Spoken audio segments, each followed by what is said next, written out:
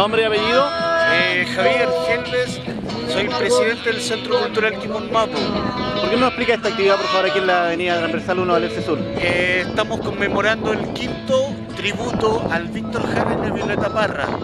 Eh, ya cinco años que estamos desarrollando esta actividad aquí en Alerce, ya es propia actividad de Alerce y esperamos que se acerque toda la comunidad a ¿Cuál es el participar programa que tienen hoy día? ¿A ¿Qué hora comenzó este y qué hora termina? Mira, a las 2 de la tarde partió con los juegos típicos de los niños, la pinta de carita, de toda esa parte de los niños con la feria artesanal.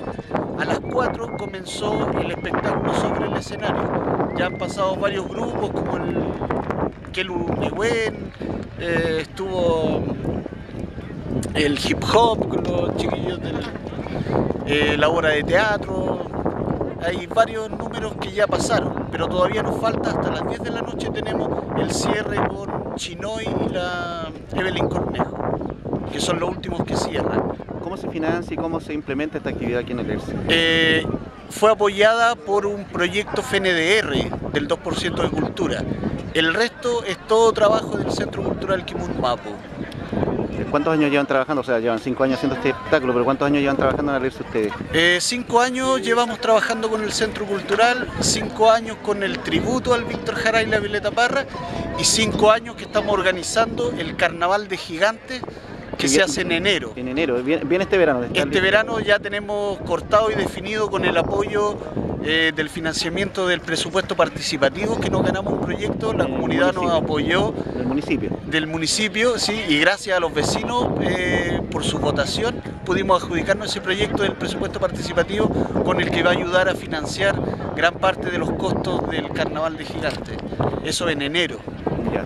Durante el resto del año, ¿ustedes cómo trabajan? ¿En qué trabajan? ¿Con qué edades trabajan? ¿Qué actividades tienen? ¿Escuelas? ¿Tienen? ¿Forman gente en algunas áreas sí, la idea es poder formar en distintas áreas artísticas, pero como toda organización social, cultural, tenemos problemas de financiamiento por un lado y de infraestructura por otro. Aquí en Alerce, por ejemplo, este evento, si estuviera lloviendo no tendríamos dónde hacerlo, porque están los gimnasios que no tienen buena acústica, tampoco entra mucha gente, entonces es difícil desarrollar el trabajo cultural.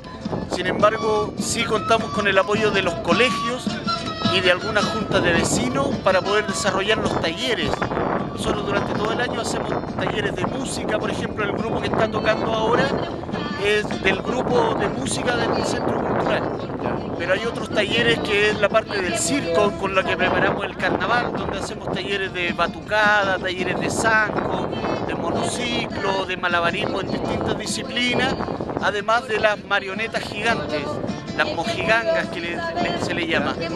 Eh, y así con lo- los niños y la juventud de Alerce hemos logrado en estos cinco años darle fuerza al, al desarrollo de la cultura y las artes.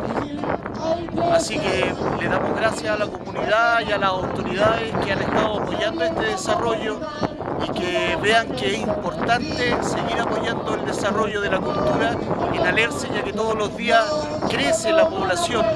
Somos ya más de 60.000 habitantes y un centro cultural con los pocos recursos que, con los que nos manejamos, no podemos trabajar más de 60 personas que estamos hoy día trabajando y nos faltan recursos para poder darle la oportunidad a todos los niños y los jóvenes de la localidad de Alerce. Así que más que nada darle las gracias a todos, eh, la bienvenida a este evento, que se acerquen, tenemos hasta las 10 de la noche, vamos a estar con el evento y posteriormente de que apoyen todas las iniciativas culturales porque es para todos y de manera gratuita.